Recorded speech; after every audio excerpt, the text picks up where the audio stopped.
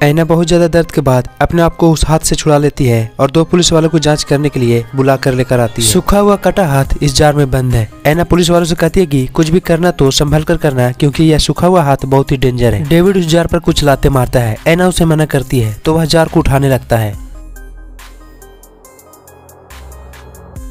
David हाथ देखकर बहुत ज़्यादा डर जाता है और भी पुलिस वालों को मदद करने के लिए बुला लेता है। इन लोगों ने आज से पहले इतना डरावना जार कभी नहीं देखा था। ये लोग जार को उठाते हैं और टेबल पे खाली करने की कोशिश करते हैं। लेकिन इसमें से सिर्फ़ धूल ही निकलती है। लेकिन कुछ देर हिलाने के बाद